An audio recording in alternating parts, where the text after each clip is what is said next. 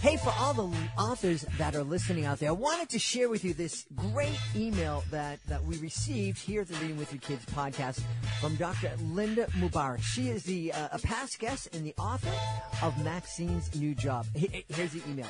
Dear Fatima and Jed, good news! Maxine's new job has been nominated to receive the prestigious Henri Award at the 2018 Christian Literacy Awards for Outstanding Literacy Work in the Children's Book Division.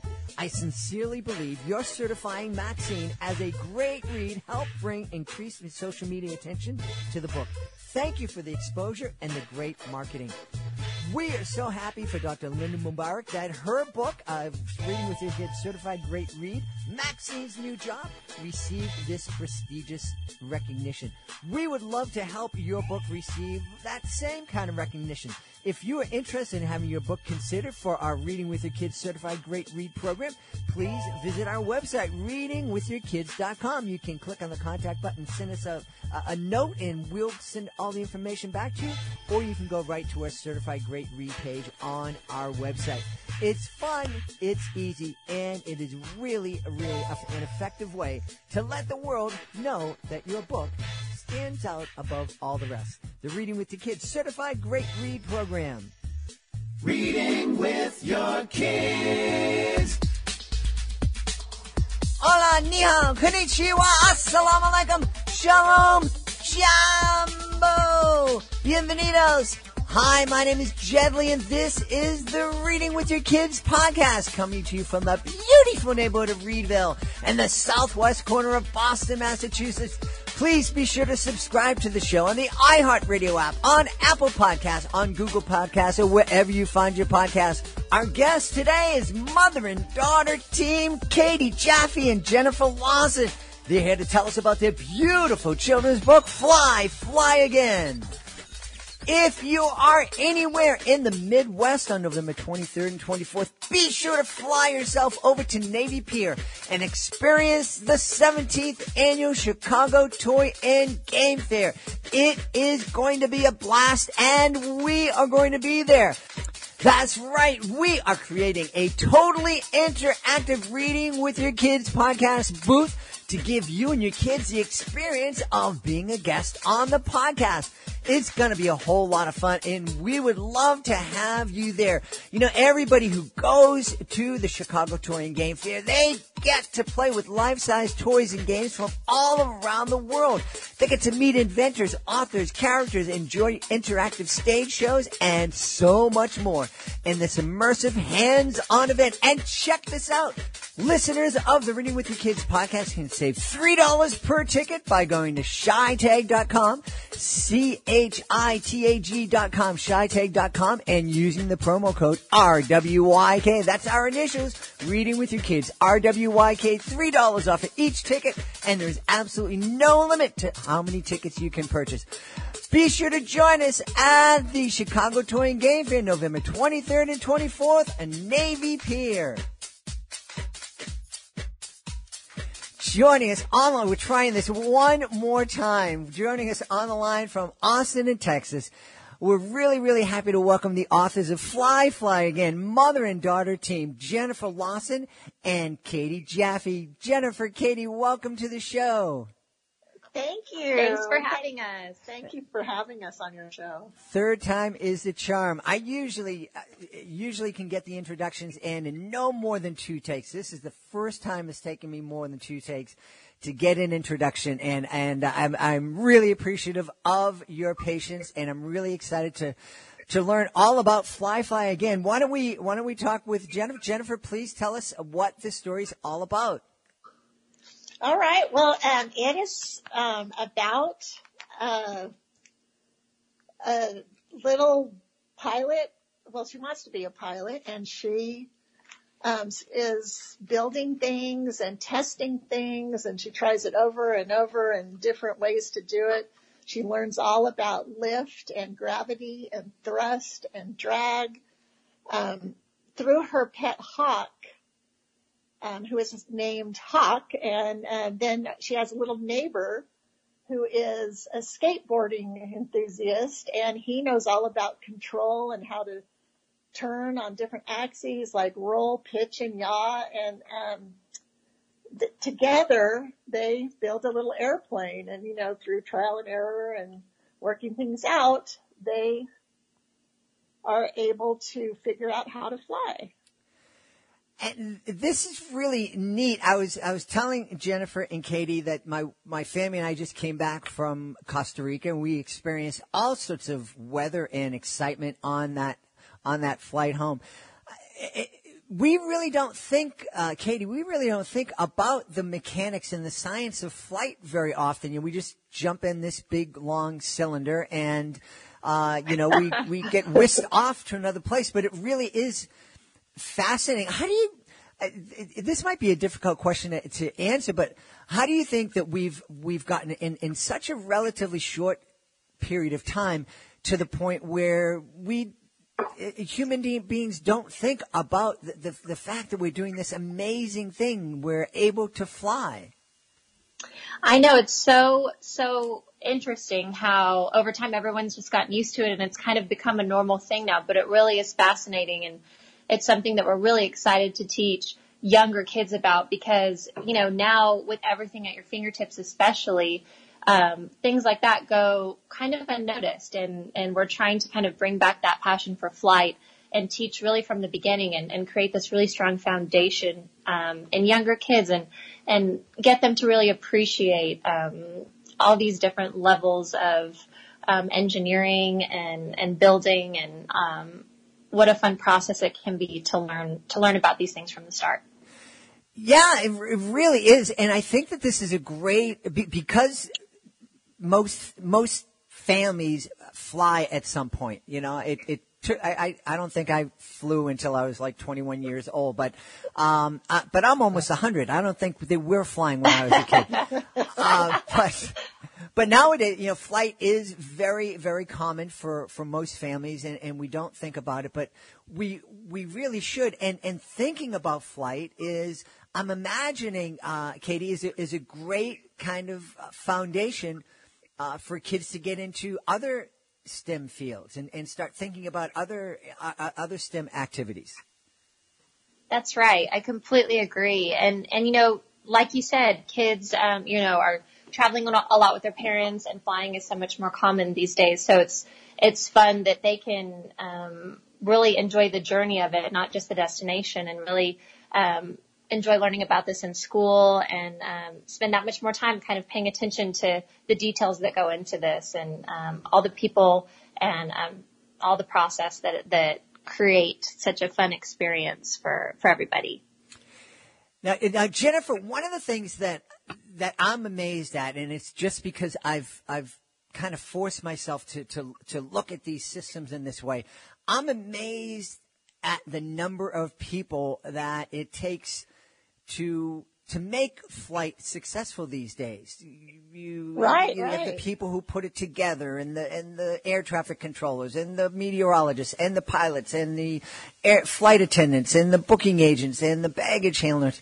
Talk a little bit about that and, and how we as parents and as teachers can kind of use you know, a, an examination of flight to, to remind our kids the importance of working together. Well, that's one of the core um, ideas that goes through the book is that you need to lift each other up and help each other um, understand things so that you can reach for higher things. And um, we're hoping that through this book that um, that and and teaching young children difficult concepts that they can um, you know learn to to work with each other and to keep trying to never give up and you know, nothing's impossible if they just keep going and, um, you know, have that never give up attitude. Yeah, Jennifer, you know, you're a mom. You've raised Katie, and Katie is a really accomplished. Um, uh, I, I think you're an engineer and a design consultant, and that's amazing. Jennifer, how important do you think it is for us as as parents to allow our kids to experience some failures to encourage them to try and, and to help them through uh, some failures to help them really grow and succeed. Well, uh, that is really important. I really believe that um, through failure, that's how they, you know, figure things out and learn how to keep going. Um, yeah, I taught in the classroom for a long time, and um, it, it's just so important that, that they're able to figure it out themselves. And a lot of times today, I see the parents coming in and rescuing them or figuring it out for them, and I think that it it helps their brain to develop better when they can go through the process and, and they can um, just just learn how to get over that hump and, and keep going and not get discouraged and you know it's just that that's very important in their education now, now, Katie, would you confer? Would you agree with with your mom that that you know her letting you kind of fall down and stumble and fail and get up and try again? It didn't break you. It didn't didn't ruin you, right? Right. I think it really taught me how to problem solve and to figure things out for myself and and to be much stronger, whether it was in school or as a mom now of three. I think you know in any project, I'm, you know, really trying to find solutions for things at all times and really prepared to have a plan B and to not um, get discouraged and to be excited about thinking of new, um, new ways to solve problems. Now, now, Katie, you, you, I, I mentioned that you are a, a design consultant, so you're actually designing aircraft right now. So primarily interiors of aircraft. Okay. Um, and our family is um, in the aviation industry, so I see all levels of um, what it takes and what goes in, whether it's a pilot or any sort of engineer or um, any designer, really um, working on any aircraft because there are so many different um, elements that go into building just the simplest of airplanes. Um, and you know, it's been really exciting actually this year looking at how we're now celebrating the 50th anniversary of um, the um, lunar landing of Apollo 11, and um, you know really how far um, we've come in flight, and starting from you know the Wright brothers all the way through now, and um, you know 50 years later after landing on the moon, and really looking at new innovative ideas, looking into human spaceflight now, and um, just kind of from a teacher's point of view, of my mother having been a teacher for um, so many years, looking at ways we can get kids excited about this and really interested in um, looking at ways we can move forward in the future with flight. I, Jennifer, one of the things that excited me is that you, you know uh, Katie's bringing up the, the, the 50th anniversary of, of the lunar landing you had a pretty influential person give the uh, write the forward for this for Fly Fly again. Yes, um, Buzz Aldrin's been a huge inspiration to me my entire life, and to Katie as well. And he, um, you know, he always tries to take people beyond where he's gone and encourages everyone. And you know, I just he is just fascinating. His books, Reach for the Stars, No Dream is Too High. You know, he, he just has the most incredible message and he, um, you know, just his whole background and how hard he uh, worked at developing, you know, the orbital rendezvous and different things for NASA that, you know, without him, they, uh, you know, it would have been so much harder. It, just, reinforces again how everybody has to work together. You know, if you think of NASA as a corporation and how many different kinds of people fit together over there to get where they have gone, you know, it's just amazing. So. One of the things that I'm, it, it just blows me away, and I and I mention this to kids a lot when I'm in a uh, doing doing my school assembly programs.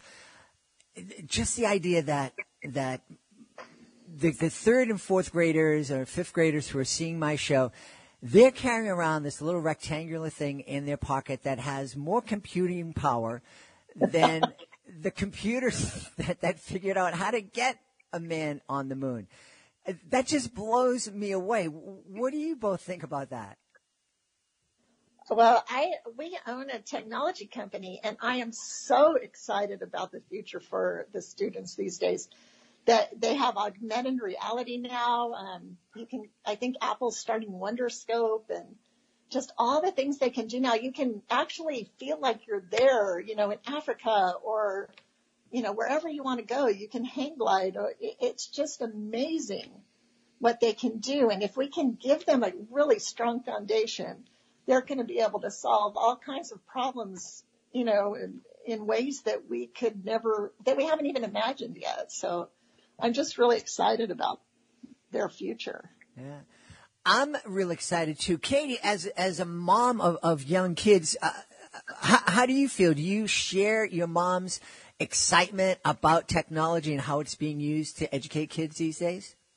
I really do. I agree with her completely in that it is, it's so much fun to see the potential, um, and all the new, um, innovative technology even in the classroom today and things that I never imagined would be available to kids and kind of like my mom was saying, you can go anywhere in the world. You can learn all about space, all these things that um, you could do previously, but now it's at a whole new level and it's just so accessible now to everyone. And um, it's it's really truly incredible and, and really exciting for the future of children's education. Now, I'll just throw this out. Either one of you, whoever um, has wants to answer this, uh, uh I'm I'm thinking, uh, uh, imagining a family uh, reading this book maybe before they're going on a trip, or or even just um, you know just because they found it and they they were fascinated by it. What kind of things can families do to kind of of uh, use Fly Fly again as a platform to to know even more about aviation and flight? Well, I think that they um, there's so many um, springboard opportunities off this book, and when we wrote it, we were, you know, we had teachers and parents and grandparents in mind that they could go off in any direction from this, whether it be, you know, the science of flight or the, you know, engineering and building things with what you find around the house or, you know, recycled items or, um, I just feel like they can, um, springboard uh, math. There's all kinds of math lessons with the rotations of the skateboards or the axes that um, the hawk is flying in or the plane needs to fly in, and how do you control it? And um, and they can go places. Uh, you know, they can talk about going different places. Uh, there's just so many different things, and at you know at the end, you know, they end with the dream of going to Mars. So. Um, you know, and then there's the whole rocket science thing they could go off of in space. And I, I just think that there's endless opportunities to teach your child or your student or anyone, you know, it, it's hopefully will inspire them. Well, I just love the fact that you're bringing, uh, helping kids be conscious of, of what's going on uh, you know, it's it's really fun to do something and become really good at it, so that you're, not thinking about it. You know, whether you're a dancer or doing magic or juggling, and you get to that point where everything's kind of automatic. But it's always really best to to be aware of things. And while kids are out there playing and and having fun, it would be really neat for them to also understand that, hey, I'm on the skateboard and I'm doing this kind of engineering thing, and this is why this is happening, and this is why when I turn this way, this the skateboard reacts in this way, or my bicycle reacts in this way, and I think it's really a, a, a, great service to help kids be present in those moments and to be conscious of of of what's happening in their lives. Well, yeah, and, and the, the Wright brothers started on their bicycles, and that's mm-hmm. how they taught themselves about how lift would work in flight and so, I mean, it is, it's all, and, and they learn so much better when they're having fun and playing games and it just soaks in and becomes a part of them. Katie, it, it must be exciting for you that, you know, at this time it's, it, it seems that there's so many people getting into flight and becoming pilots. It's almost as if it's becoming kind of common. So, like you said, just so, um, common with not only, you know, you have commercial pilots and private pilots, but so many people that are studying and now researching more and more even for um, human space flight. And so you have a whole new level of pilots that are joining this group of people and this industry that are learning, you know, um, really moving forward. We just toured the Virgin Galactic facility and, you know, just meeting some of those pilots and being so inspired by how, you know, they are now taking people to the next level. And, um, it's, it's such a, an interesting topic to, um, to really explore and just see how it started. As such a, you know, such a special, um, almost, it was almost like a, a special occasion to be able to fly. And, and now, now that it is common, we don't want it to be any less special, but, but we really want people to be aware that, um, that this is an amazing industry and there's so much that has gone into it. And, um, you know, we just, um, we want to appreciate where it's going and, and all the new and different, different exciting, innovative changes that are to come in the future. Yeah. Any idea of, of what is there? I know, you know, there there talk about bringing people up into space, and, and that's really exciting. Anything else that that you've discovered that uh, would would really kind of open our eyes as the next step in flight? Well, I think that inner orbit, um, you know, and Elon Musk's all his uh, reusable rockets for him to be able to use the same rockets over and over and land them precisely, um, that's going to change everything. Mm-hmm. Uh, people, it won't be so expensive and um, just like it was, you know, really hard for people to get into flying, but now we fly all the time. I, I feel like that's going to happen with space, you know, in the, it's going to be incredible. Yeah, really is incredible. I, I, I just imagining what what life is going to be like, Katie, when when your kids are adults and and having kids. I know. I, I think about that all the time. How much more accessible things will become that um, right now are aren't even a thought, and um, how much more efficient those processes will be, and how you know little by little, you know, people will, more and more people will be able to experience those things in the future. So that's really exciting to think about, definitely. Katie, how excited were your kids to, to see that you and your mom had worked together to create Fly Fly again? They were incredibly excited and they love, you know, all these things that, you know, my husband's a pilot and, and we're, you know, such aviation enthusiasts in our home. Um, these things that we mention to them or teach them just to come together in a picture book format and something that they can, can really look at and see some of these lessons we've taught them at home and sharing it with their friends and other kids in, in our school and our community has been really, really fun to watch. That's wonderful. Now, Jennifer, is this um, a one and done project or are you and Katie thinking about other books? Oh, we have several planned for that. They're just going to go on and on and keep adding more characters and uh, more lessons. Um, you know, so so we're just going to keep going with it. We we're hoping to um, get to Mars with the next couple of books. So first we wanted to do the flight, and then we'll do the rocket science, and then terraforming Mars, and you know, just keep going and going with it. That's incredible. Well, Katie, before we go, where can we uh, go online to connect with you and your mom and learn more about Fly Fly again?